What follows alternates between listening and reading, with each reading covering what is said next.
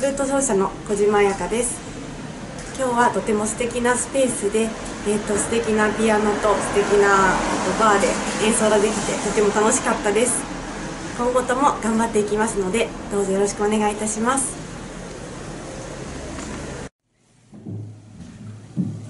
第2楽章は淡い夢のような第1楽章とは打って変わって葛藤や焦燥感強い意志が感じられます。